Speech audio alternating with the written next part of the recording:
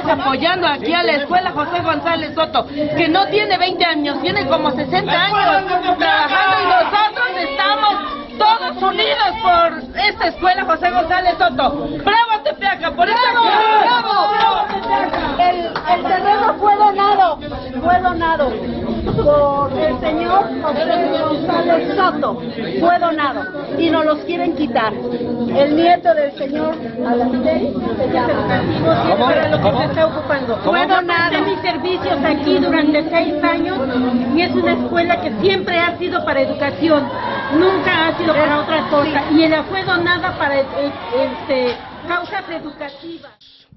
Religiosas de la Congregación de las Madres Josefinas tramitaron un amparo para evitar el desalojo del colegio particular José González Soto, institución educativa fundada desde hace más de 50 años, donde elaboran nueve monjas y 80 docentes que atienden a más de 800 alumnos del municipio, del municipio de Tepeaca. Profesores de la institución manifestaron que el predio fue donado en 1956 mediante una acción legal avalada por un notario público, por lo que lamentaron que este lunes la juez civil de Tepeaca, María Gabriela Durán Gaspar, en compañía de la fuerza pública, se presentara para realizar un desalojo, acción que fue impedida por un grupo de más de 300 personas que se reunieron en el colegio y obligaron a la policía a intervenir para evitar agresiones en contra de las autoridades y del supuesto propietario. María del Rosario Morales, religiosa de la institución, denunció abusos por parte de las autoridades en el desalojo. Señalaron que la juez se negó a esperarlas para que mostraran las escrituras que las amparan como legítimas propietarias. Asimismo denunció que el supuesto dueño del predio de nombre Gerardo Artieri Megale les pidió un arrendamiento de 160 mil pesos mensuales antes de emprender el juicio en su contra que resultó a su favor.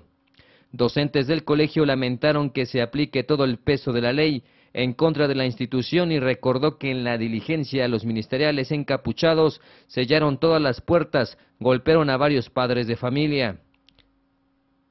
Autoridades municipales convocaron a una reunión que se realizaría este martes por la mañana para tratar de solucionar el conflicto entre ambas partes. Sin embargo, no se presentó el supuesto dueño del predio, Altieri Megale. Posteriormente se realizó una reunión en el colegio donde se informó que la directoria María Anastasia Aguilar Barriga tramitó un amparo durante las últimas horas para proteger lo que consideran es el patrimonio de la comunidad. Salieron las muchachas de, servicio abrir la puerta, a ver quién era, y entonces los señores la empujaron.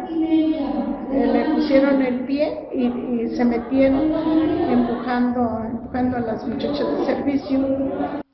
Con información de Juan Carlos Rojas e imágenes de Diego Saturno, informó para e-consulta Genaro Cepeda.